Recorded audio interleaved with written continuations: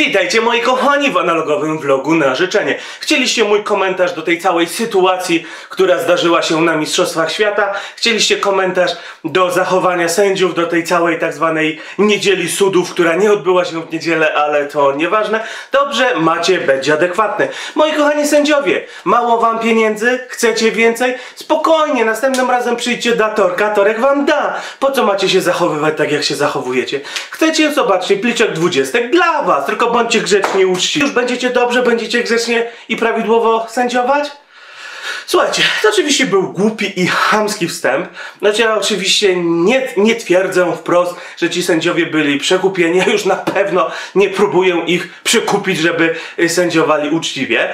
Ym, wie, to, to był żart, to była, y, to była, jak to się ładnie mówi, konwencja kabaretowa, to było prześmiewcze, bo to jest drugi problem, który się pojawia na naszym kochanym polskim YouTubie, że jeżeli usiądzie mądry człowiek i zrobi bardzo długi i mądry wywód, który się zakończy jakąś puentą, to niestety po 30 sekundach ludziom się odechciewa tego oglądać, bo ludzie są głupich i durnych filmów i niestety większą liczbę wyświetleń mają filmy, na których moja żona robi tam, nie wiem, głupio, jakieś głupie dowcipy pod tytułem haha, nie musisz, mam dla ciebie dobrą wiadomość, nie musisz mnie dzisiaj zabierać na imprezę z koleżankami, możesz zostać w domu i pracować, ha, ha, ha, bardzo śmieszne, no ale to robi wyświetlenia. Tak samo filmy, na których ktoś rzuca pieniędzmi, na których ktoś drapie patelnią, na których ktoś sobie chrapie, no to robi wyświetlenia. Dlatego pozwoliłem sobie zrobić tak zwanego clickbaita, Czyli najpierw zrobiłem coś durnego, co mam nadzieję przyciągnie Waszą uwagę.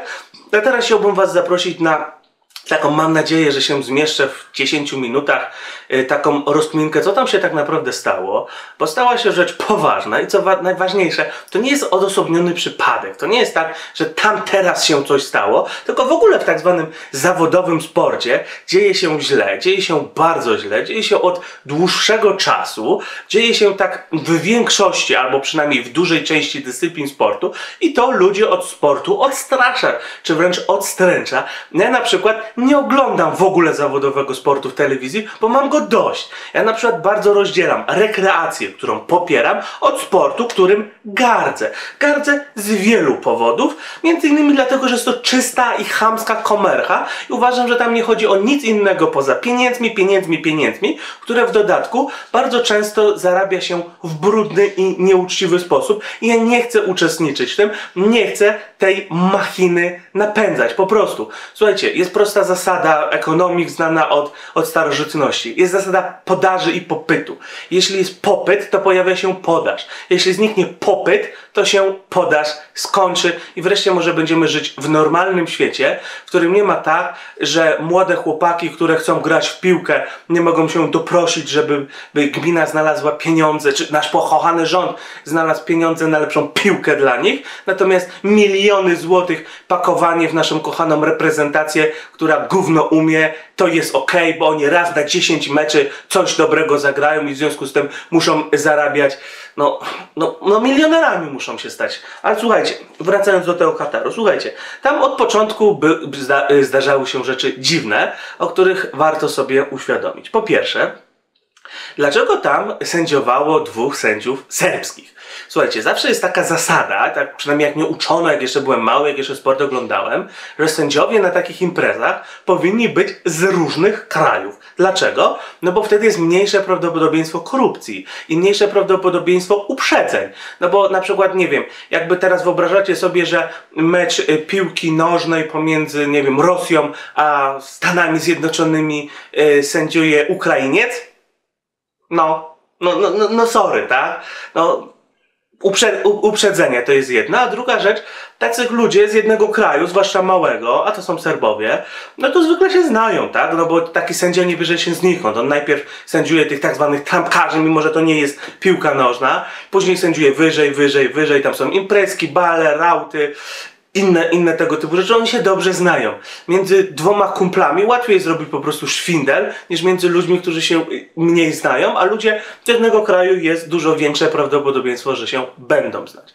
Druga kwestia to to, że w tej katarskiej drużynie e, prawie wszyscy zawodnicy byli jakby kupieni. Oni nie byli rodowitymi Katarczykami. I tu się zachodzi kolejne pytanie. Co to za sport narodowy? Co to za mistrzostwa poszczególnych krajów?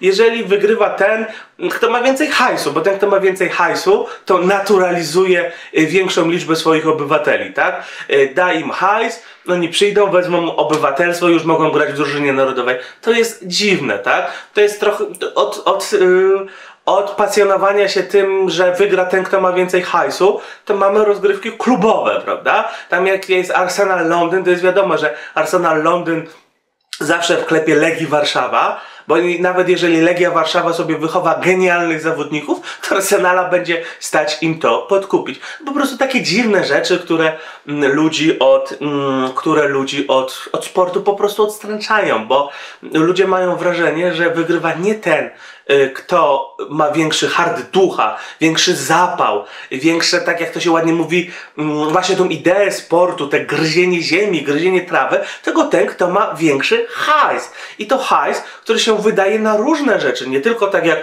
tutaj jest gdzieś w podtekście na łapówki dla sędziów, ale zupełnie legalnie, zupełnie legalnie, zupełnie pomijając wszystkie takie dziwne akcje, w większości dyscyplin sportowych człowiek bez hajsu ma dużo trudniej z człowiekiem z hajsem. O tym zaraz. Ale słuchajcie. Zauważcie jedną rzecz, która mi się cholernie, cholernie nie podoba. Pamiętacie, mm, jak mm, w Polsce polski rząd, polski minister chciał zrobić Yy, chciał zrobić, jak to się ładnie mówi, porządek w PZPN-ie. Ja chciał tam ponaprawiać, bo twierdził, że tam się źle dzieje, coś tam padały jakieś takie słowa jak korupcja. To było niedługo po aferze fryzjera, czyli kolesia, który ustawiał mecze i tak dalej, i tak dalej, i tak dalej. Pamiętacie, co się stało? Zdało się tyle, że nagle, nagle w obronie PZPN-u, czyli Polskiego Związku Piłki Nożnej, mm, yy, odezwał się wyższy związek europejski czy światowy, już nie pamiętam, czy to była FIFA czy UEFA, i powiedziała tyle. Misie, albo się odwalicie od PZPN-u, albo wycofacie stamtąd komisarza, albo Polska zostanie zdyskwalifikowana w międzynarodowych rozgrywkach. I co się dzieje i co robi rząd? No rząd, rząd robi to, na co mu w tym momencie wyborcy pozwolą. Jeżeli wyborcy są zagorzałymi fanami piłki nożnej i dla nich wycofanie y, drużyny polskiej z mistrzostw jest końcem świata, no to polski rząd kładzie uszy po sobie i daje się szantażować międzynarodowej organizacji. To swoją drogą nie jest fajne, bo albo Polska jest suwerenem i robi co chce, albo suwerenem jest jakiś związek piłki nożnej i yy, Polskę ustawia, ustawia w szeregu i mówi, ma być tak jak ja chcę i nie będziesz mi tu podskakiwał, prawda? A słuchajcie, jeśli ktoś uważa, że jakieś nieprawidłowości pojawiają się tylko w polskich związkach mm, sportowych, to niech sobie wrzuci w internet. Jakoś niedawno, to, to tam się co chwila pojawiają jakieś nieprawidłowości, jakieś, mm, jakieś wątpliwości, coś się komuś nie podoba i to nie jest tylko i wyłącznie w kontekście piłki nożnej. To jest w kontekście coraz większej liczby e, różnych związków, bo te związki mają totalną autonomię. Tam nikt nie może wejść, bo jak ktoś wejdzie, to nagle dyskwalifikujemy zawodników. To też jest swoją drogą strasznie chamskie, prawda? Związek walczy o hajs, działacze walczą o swoją pozycję, a walczą tym, że udupią sportowców, udupią zawodników. No, no to jest wybitnie nie fair, prawda? To jest trochę tak jak z nauczycielami, którzy jak walczą o swój hajs, to odbija się to na dzieciach, prawda? Nie jest to fair. Zauważmy, że w większości dyscyplin sportu rola sędziego jest strasznie, ale strasznie wysoka. Okej, okay. są sporty, w których już podejmuje się próby obiektywizacji pewnych rzeczy. Na przykład w biegach mamy fotokomórkę, która sprawdza, czy nie było fal startu. Tam już nie ma sędziego, ale niestety w większości dyscyplin sportowych, zwłaszcza drużynowych, o wszystkim decydują sędziowie. Zwykle to jest jeden, trzech sędziów. Ich decyzja jest niepodważalna i nie ulega korekcie, nawet jeżeli później się okaże, że się totalnie mylili. Dlaczego w dobie mm, bardzo szybkich ujęć kamery i bardzo szybkiej możliwości od y, bardzo szybkiej możliwości y, od, odtworzenia tego filmu, nie zrobi się tak, że w przypadku kwestii spornych, jeżeli nie wiem, trener jednej drużyny się nie zgadza z decyzją sędziego, to odtwarzamy film i wtedy nie decyduje sędzia boiskowy, tylko decyduje powiedzmy kolegium 40 y, sędziów, nawet niech sobie decydują online na podstawie filmów. I zróbmy takie coś, że trener może że zakwestionować decyzję sędziego powiedzmy trzy razy na mecz, żeby tego nie nadużywał i zróbmy tak, że jeżeli sędzia, który mm, jeżeli sędzia, który się myli, to ponosi z tego tytułu bardzo poważne konsekwencje. I to jest kolejna kwestia. Zobaczcie, sędziowie sportowi, którzy się mylą, nie podnoszą prawie żadnych konsekwencji. To znaczy, nie podnoszą konsekwencji adekwatnych do swoich zawinień, tak? No bo jeżeli sędzi, jeżeli nazwijmy to nieprawidłowe decyzje sędziego sprawią, że jakiś kraj odpadnie z mistrzostw świata, prawda? Czy, czy, czy, czy, in, czy innych mistrzostw, to no tam chodzi o miliony, jeśli nie o, o dziesiątki czy setki milionów złotych, prawda? No bo to są kontrakty y, sponsorskie klubów, kontrakty sponsorskie zawodników, kontrakty y, sponsorskie związków, y, praw, y, hajs z transmisji i tak dalej, i tak. To idzie w grube pieniądze, tak? No to jeżeli w, w takim powiedzmy cywilnym, cywilnym świecie ktoś przez kogoś straci miliony złotych, to ta osoba winna no zwykle idzie siedzieć w większości cywilizowanych krajów. Co się dzieje, jeżeli myli się sędzia sportowy? No co najwyżej odsuną go od sędziowania imprez tej rangi na jakiś czas. No to słuchajcie, no to, to jest trochę tak, jak przepraszam, ja nie twierdzę, że sędziowie są złodziejami. Nawet więcej, twierdzę, że większość jest w porządku. Większość jest w porządku i nawet nie twierdzę, że ci tutaj Serbów są nie w porządku. Może mieli zaćmienie, może się pomylili, prawda? Ale to jest troszeczkę tak, jakby złodziejowi, y, którego się złapało na kradzieży, nie wiem, banku, nagle powiedzieć, przez rok nie możesz kraść banku, degradujemy cię do niższej ligi, teraz możesz okradać tylko sklepy osiedlowe. No, nie, no sorry, ale takiego człowieka powinno się zamknąć do pierdla, a jakby zakaz wykonywania zawodu to jest rzeczą totalnie oczywistą, tak? Jeżeli lekarz mm, przyjdzie pijany do pracy i w związku z tym, że przyszedł pijany do pracy, zabije pacjenta, bo się nie nadawał do wykonywania zawodu, to nie mówi się, mm, to nie mówi się, że słuchaj stary, teraz nie będziesz operował nosa, tylko będziesz operował żuchwę, tylko no on idzie siedzieć i prawo wykonywania zawodu to mu się z automatu odbiera, żeby więcej ludzi nie zabijał, bo jest pijakiem, który przyszedł do pracy. Przynajmniej tak powinno być, bo z lekarzami to jest w ogóle problem, ale to jest na, y, na, in, na temat na innego vloga, tak? Ale nawet pomijając patologię z sędziami, prawda? To i tak kasa rządzi sportem. Słuchajcie, zobaczcie, zobaczcie kto wy... Prawda jest taka, że w większości sportów, yy, zwłaszcza tych takich, nazwijmy to, wysiłkowych, nie wygrywa ten, kto ma większy charakter, nie wygrywa ten, kto ma większy talent, tylko wygrywa ten, kto ma większe zaplecze treningowe i w, w, w, skład tego zaplecza treningowego coraz częściej wchodzą nie tylko trenerzy, ale również y, fi, y, fizykoterapeuci, lekarze, farmakolodzy, chemicy oraz prawnicy. Dlaczego prawnicy? Do tego y, dojdę mm, zaraz. Niestety prawda jest taka, że w sportach takich właśnie typowo wydolnościowych ludzki organizm w większości doszedł już do granic możliwości. I albo ten organizm zostanie wspomożony, farmakologicznie lub przez jakieś inne kwestie typu jak Tiger Woods wyszlifował sobie wzrok laserowo tak, że widzi lepiej niż normalny człowiek, no to już jest problem, prawda? Teraz pytanie, czy Tiger Woods powinien być sportowcem, czy nie? To czy czasem nie jest tak, że Tiger Woods, który sobie wyszlifował wzrok, wydał kupę forsy, żeby widzieć lepiej niż normalny człowiek, czy on już nie jest cyborgiem, prawda? Była, była cała akcja z Pistoriusem. Zanim Pistorius, no miał konflikt z prawem e, w kwestii, w kwestii zabójstwa, tak to ładnie powiedzmy, bo zabójstwo nie jest morderstwem. No, on zabił w sposób, mm, w sposób, e, to jest pewne, że on zabił, prawda? Tylko to jest pewne, czy chciał, nie jest pewne, czy chciał zabić, czy nie chciał zabić, czyli zabójcą jest na pewno, prawda? E, no to pamiętacie, co było z Pistoriusem? Okazuje się, że on na tych swoich protezach biegał szybciej niż ludzie bez protez. Te protezy dawały mu przewagę. W związku z tym była opcja, że grozi nam cyborgizacja sportowców, że będą sobie wymieniać pewne części ciała na mechaniczne, bo będą lepsze, tak? To na szczęście nam nie grozi. Pistorius nie wystąpił na, na olimpiadzie tej, nazwijmy to normalnej, więc nie groziło to, co się wielu ludzi obawiało, że biegacze będą świadomie sobie doprowadzać do utraty kończyn, do utraty nóg, po to, żeby sobie wymienić na protezy, żeby zarabiać kupę hajsu, bo kto wróci z, z, no, z medalem z olimpiady, w większości krajów zarabia bardzo dobre pieniądze, tak? Nawet w Polsce dostaje dożywotnią emeryturę, bo dajże 4000 zł. Okej, okay, dla większości ludzi to jest nie do pomyślenia, żeby sobie zrobić krzywdę dla 4000 zł. Ale uwierzcie mi, są ludzie, którzy rodzą dzieci, żeby dostać becikowe 1000 zł. Yy, każdy człowiek jest w różnej sytuacji, tak? Większość ludzi nie pomyśli o tym, żeby y, sprzedać nerkę za kilka tysięcy złotych, ale są ludzie, którzy sprzedają serce za kilkadziesiąt tysięcy złotych, bo są tak bardzo przyparci do muru, że mają głodujące dzieci i wolą umrzeć, niż patrzeć jak dzieci głodują. Ale dobra, od, odbiegam od tematu. Zobaczcie. Hajs rządzi sportem.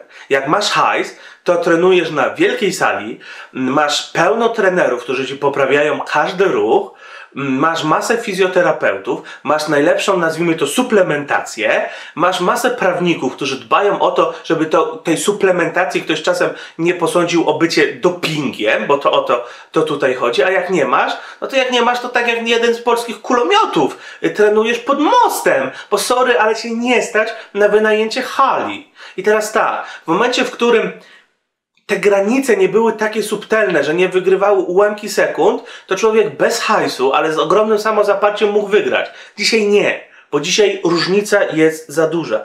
Do tego zwróćmy uwagę na farmakologię. Słuchajcie, wiecie, jaka jest różnica między środkiem dopingującym a środkiem niedopingującym? Że jeden został uznany za środek dopingujący, a drugi nie. I tu jest, słuchajcie, wy wyścig farmakologów. Taka jest prawda. Wszyscy sportowcy, tacy nazwijmy to mm, wysiłkowcy, korzystają z suplementacji.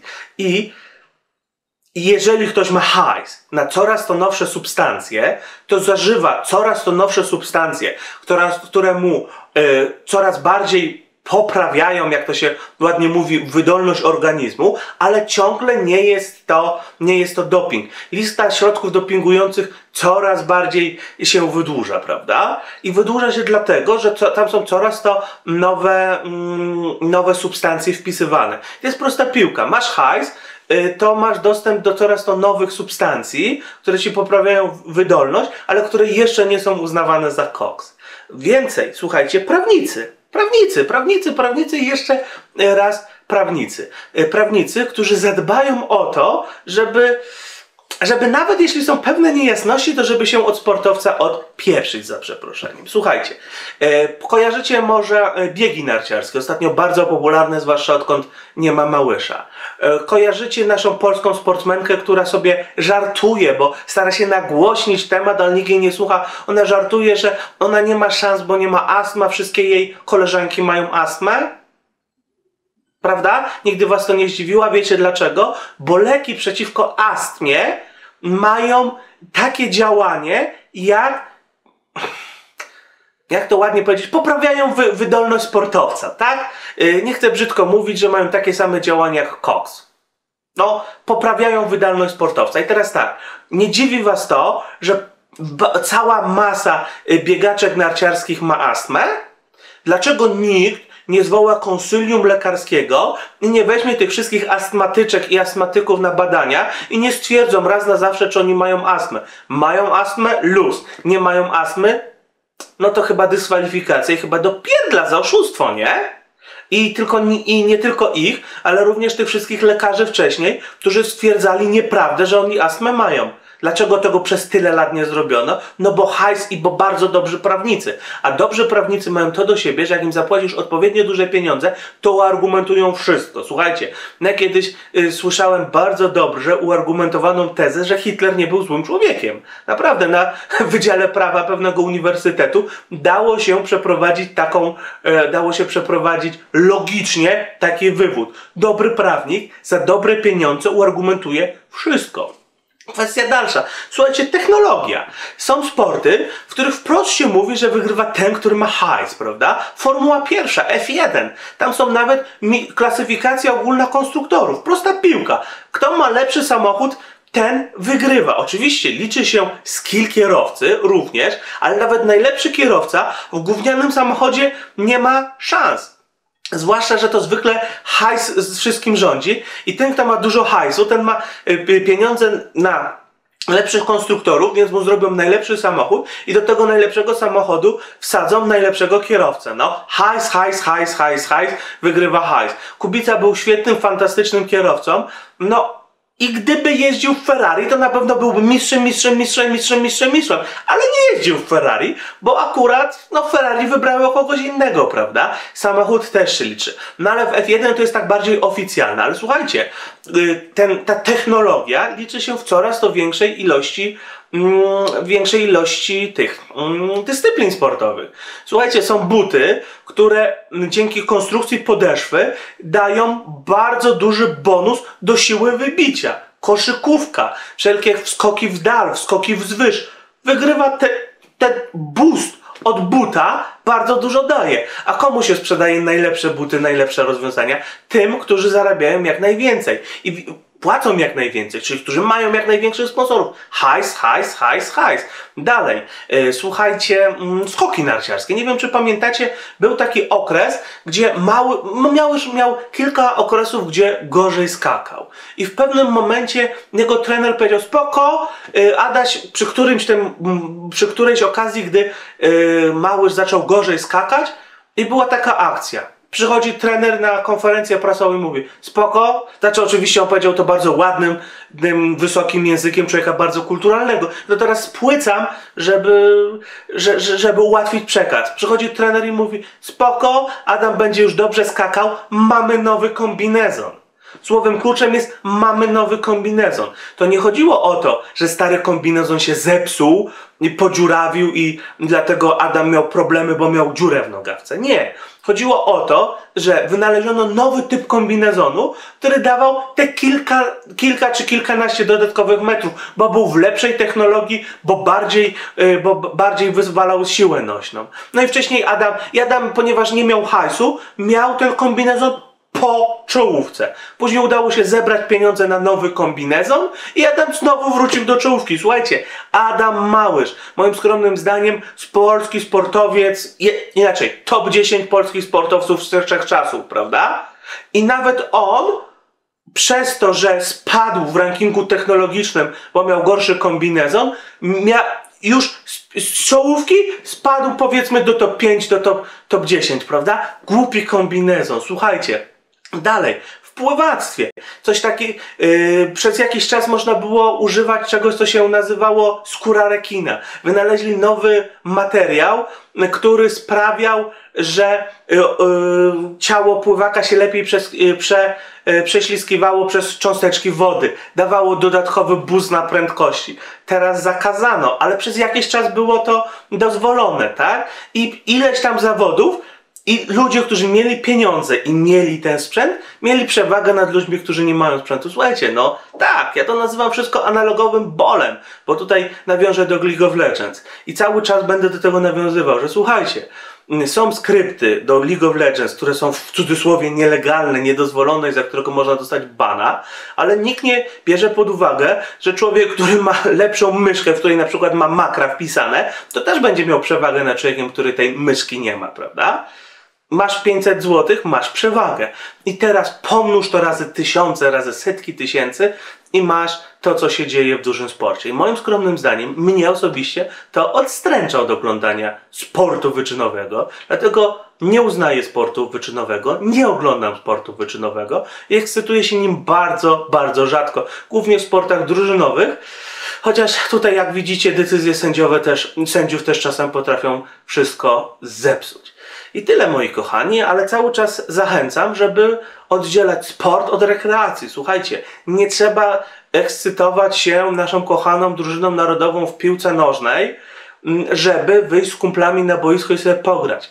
Nie trzeba oglądać Tour de Pologne, żeby sobie pojeździć na rowerze. Nie trzeba oglądać mm, zawodów pływackich, żeby pójść na basen i popływać. Do tych drugich rzeczy bardzo serdecznie Was zachęcam. Do dokładania pieniędzy i tak już, moim skromnym zdaniem, pazernym związkom sportowym od, odchęcam, odradzam. I tyle moi kochani. Do zobaczenia. Trzymajcie się. Pa!